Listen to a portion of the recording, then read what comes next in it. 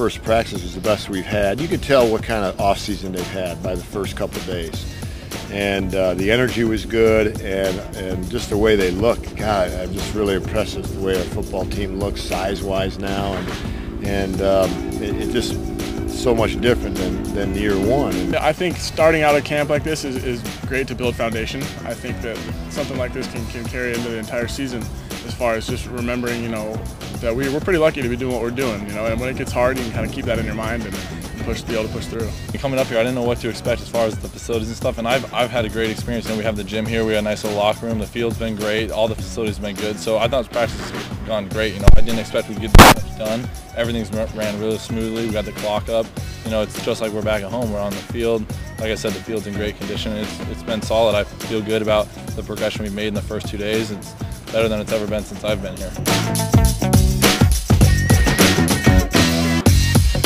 Well, here we have Barrack Row, and uh, you see the guys are milling around and getting ready for bed. There's nowhere to go. It's all self-contained. There's no wall to climb over. Can't do anything like that. So they're stuck. But it's been great for team building and